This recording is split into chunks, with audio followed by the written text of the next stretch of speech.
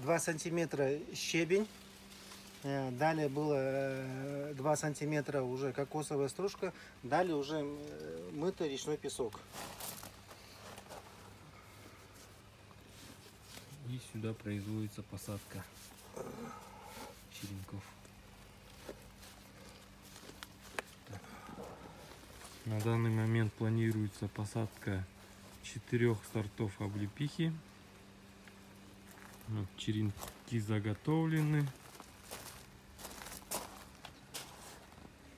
А, Установлена система туманообразования такая автоматическая каждые 5 минут а, будет осуществляться полив в течение 10 секунд. Это нужно для, для того, чтобы сохранять оптимальную влажность. А,